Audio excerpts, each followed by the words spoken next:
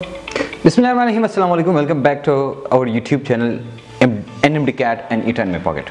मैं हूँ अली सुदेश और आज हम बात करेंगे अबाउट द स्मार्ट स्टडी जो कि रिपीटर्स के लिए स्पेशली बहुत इंपॉर्टेंट और ये video specifically specifically and specially this is for the repeated students repeated student बहुत ज़्यादा कन्फ्यूज़ होते हैं बिकॉज़ व्हेन दे डिसक्वालीफाई तो हर तरफ़ से उनको एक मुजाहबत करनी पड़ती है रेजिस्टेंस एंड अब हर बंदे को अपना आप एक्सप्लेन करना होता है दूसरी बातें हैं कि उनको ये भी डर होता है कि क्या अगले साल हम क्वालिफाई कर लेंगे नहीं क्वालिफाई करेंगे क्वालिफाई करेंगे तो कितने मार्क्स आएँगे और कितने लेंगे और कैसे वगैरह वगैरह।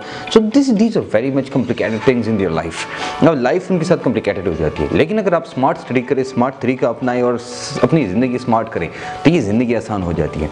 अब स्मार्ट स्टडी के लिए अब क्या करना है? वो सारी चीज़ें मैं बताऊँगा भाई। स्मार्ट वर्क क्या है? स्मार्ट स्टडी क्या है? कैसे आप अपने आप को स्मार्ट बना सकते हैं? ओके सबसे पहली बात यह है जनाब कि स्मार्ट स्टडी करने के लिए आपको तो अपनी टेक्स्ट बुक की तरफ़ जाना पड़ता है। देखो, आपको जब तैयारी करते हैं तो आप अपनी, आपकी टेक्स्ट बुक है फेडरल बुक है, और आपकी एम बुक्स है। एम बुक्स में फिर रेफरेंस बुक्स हैं और फिर प्रैक्टिस बुक्स हैं। अब इन सब चीज़ों का मतलब क्या है? वो सारी चीज़ें मैं आपको समझाना चाहूँगा। सबसे पहले तो आप अपनी एनालिसिस करें और असेसमेंट करें कि आप कहाँ पर खड़े हैं और आपके अंदर किस किस चीज़ की कमी है। Number one thing number two वो ये है कि आपने कौन सी किताबें फॉलो करनी है? तो सबसे पहले जो भी आपका बोर्ड है, चाहे वो के पी के है पंजाब है सिंध है बलूचिस्तान है कश्मीर है, कोई भी बोर्ड है, आप सबसे पहले अपने बोर्ड को फॉलो करें। The first thing is you should follow your own board books फिर उसमें जब आप अपने बुक्स को फॉलो करेंगे स्मार्ट स्टडी ये है कि आप देखेंगे कहाँ से एम ज़्यादा आ सकते हैं, मैं ज़्यादा एम कहाँ से कर सकता हूँ या कर सकती हूँ। That is the first point कि यू शुड नो कि from where you can do maximum M अब चूँकि सब कुछ चेंज हो गया है और अब ये है कि you have to get more than 170 marks sometimes 170 doesn't work you need to take like more than 180 if you want to obtain more more than 180 it means you need to work very smartly सबसे पहले देखिए हम MCQs अस्सी biology 60 chemistry चालीस, forty physics and twenty English अब इसमें से देखिए कि क्या क्या वो चीज़ें हैं जहाँ पर आप आप मार्क्स मैक्सिमम ऑप्टेन कर सकते हैं। You can just obtain maximum marks and where you can just lose marks and where I am sorry with you can not get marks अब कुछ चीज़ ऐसी हैं जहाँ बच्चे ख़राब होते हैं और वो ये है कि अच्छा सबसे पहले बायोलॉजी है। तो बायोलॉजी जो भी आपका रिस्पेक्टिव बोर्ड है whatever your respective board is you should follow that one and then you should study the federal book as well federal book पढ़ें। बायोलॉजी का सबसे अच्छा जो पॉइंट है वो ये है कि बायोलॉजी आप खुद कर सकते हैं। You can read the books and you can just do it from there no like tricks हैं।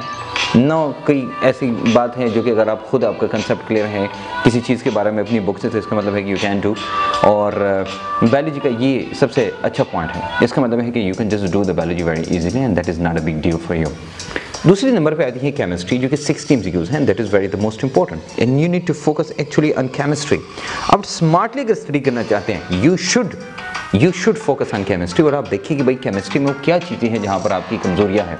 कहाँ पर वीक पॉइंट्स हैं, जो आपकी है। तो अगर आप ये असेसमेंट करते हैं you if you assess yourself you analyse yourself then you can understand कि येस यहाँ पर मैंने किया और यहाँ पर मसला था और यहाँ पर मैंने, मेरे एम कम हो गए थे या मेरे मार्क्स कम आए थे। तो केमिस्ट्री पर आप मोस्टली ज़्यादातर फोकस करें उसके कंसेप्ट क्लियर होने चाहिए ट्रैक्स शॉर्ट कट सब कुछ आपको आने चाहिए। अगर आप बायोलॉजी अपनी बुक प्लस फेडरल की बुक पढ़ते हैं और सही पढ़ते हैं और आपको वो डिफरेंसेस को भी पता चल जाता है। और पीएमसी सिलेबस का एक बहुत बड़ा फ़ायदा ये है कि आपको टॉपिक्स और टॉपिक्स के अंदर की एमसीक्यूज का भी पता है। तब तो ये पता है कि भाई किस चैप्टर को मैंने कितना टाइम देना है। अब अगर आपने फुल कोर्स फॉलो किया याद रखना the full if you follow the full course it means कि आप अपने साथ जुल्म कर रहे हैं। You are doing something very very very much bad with yourself what you have to do is smartly you should give maximum time to those chapters where, from where you can like like do maximum MCQs या जो PMC syllabus में उन्होंने दिए हैं the maximum MCQs can be from there so you should do that chapter right अब चाहे वो physics है केमिस्ट्री है बायोलॉजी मैं सबकी बात कर रहा हूँ। लास्ट नंबर पे आती है सॉरी फिजिक्स है साइंसिस में। अब फिजिक्स एक ऐसा सब्जेक्ट है जो कि अक्सर लोग मार खाते हैं उसकी वजह से। इस वजह से नहीं कि वो फिजिक्स के एमसीक्यू नहीं कर सकते। वो इस वजह से कि फिजिक्स को मैक्सिमम टाइम देते हैं। अब 10 परसेंट हार्डेस्ट एमसीक्यूज होंगे। कितने? 10 परसेंट अब 10 टेन परसेंट के लिए वो क्या करते हैं? और 10 परसेंट के लिए दूसरे जो अस्सी 80 एमसीक्यूज है या 60 एमसीक्यूज है केमिस्ट्री के, उनको बर्बाद कर लेते हैं उनको क्या भाई, सिर्फ़ चार है।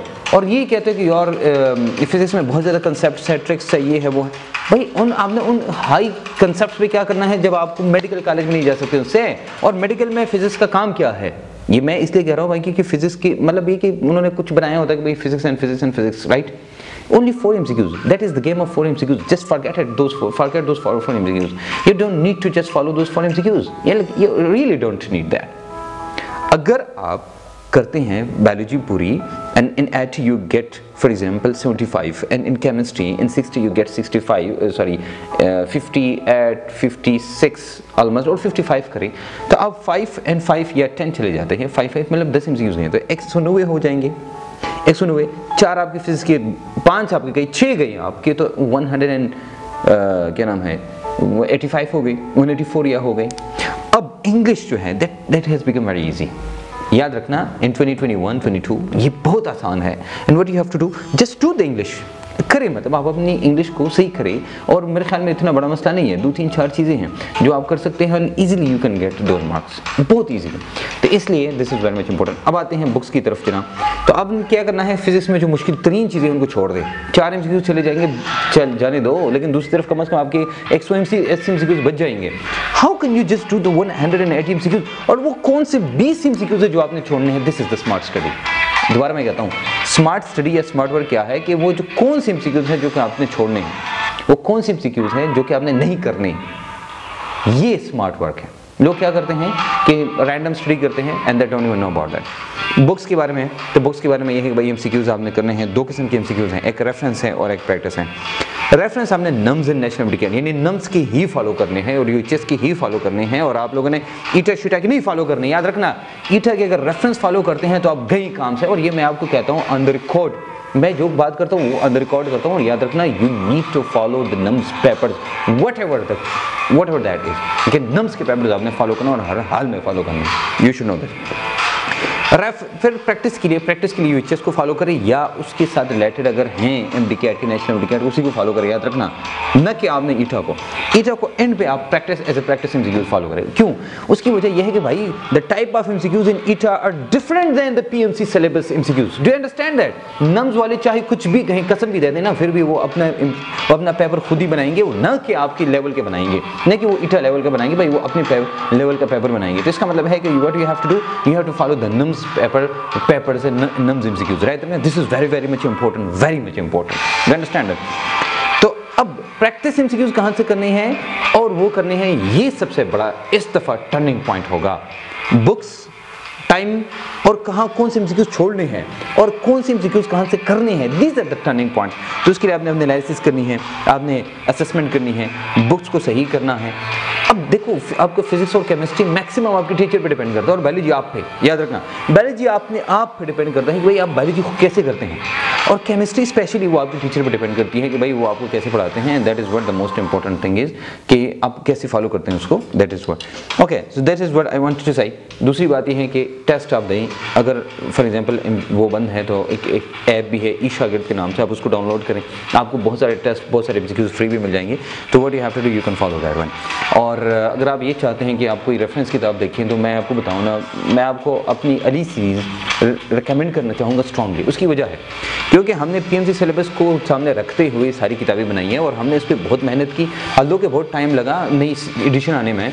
हम ये नहीं कि भाई पुरानी एडिशन पे नया नाम लिखा और बस नई एडिशन आई। नहीं, हमने बहुत मेहनत की, हमने अलग टीम रखी है जो सिर्फ़ और सिर्फ़ किताब का काम करते हैं, करती है और वो सिलेबस के मुताबिक आपका सब कुछ इस्टेब्लिश करती हैं।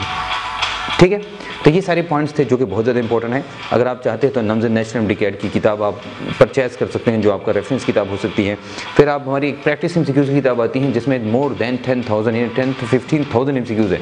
वो आप करेंगे तो मेरे ख्याल में ये सारा आपको क्लियर हो जाएगा नी डोंट नीड एनीथिंग एल्स फिर उसके बाद जो है केमिस्ट्री के लिए कंसेप्ट के लिए ट्रिक्स के लिए निमोनिक्स के लिए केमिस्ट्री में पॉकेट है फिजिक्स के लिए फिजिक्स में पॉकेट है बायोलॉजी के लिए बायोलॉजी में पॉकेट है। तो छोटी सी, आप अब अब ये वो पढ़ेंगे तो इसका मतलब है you don't need anything else and that is what will you will get in the best in your life ठीक है? तो मिलेंगे इंशाल्लाह। अगली वीडियो में, लेकिन दो बातें मैं करना चाहूँगा आखिरी। जल्दी उठिएगा, याद रखना। ऐसा नहीं कि आप लेट उठें, और ये ये अपनी एक आदत बनाएँ कि आप सुबह जल्दी उठें। जब आप सुबह जल्दी उठेंगे तो पूरा दिन आपका सही होगा, और उसके मुताबिक आपने सोना है। टाइम मैनेज करना है कि भाई कैसे मैंने टाइम मैनेज करना है। ठीक है? We do your best they the energy you need just a burning desire वो डिज़ायर जो आपको सब कुछ से रोक सके, आपके फेसबुक से, दोस्तों से, तमाम रिलेशन से फजूल रिलेशन से रोक सके। तो वही आपको कामयाबी होगा मिलेंगे इंशाल्लाह एक वीडियो के साथ। मुझे अपनी दुआ में याद रखिएगा, अपना ख्याल रखिएगा और इस चैनल का भी। अल्लाह हाफ़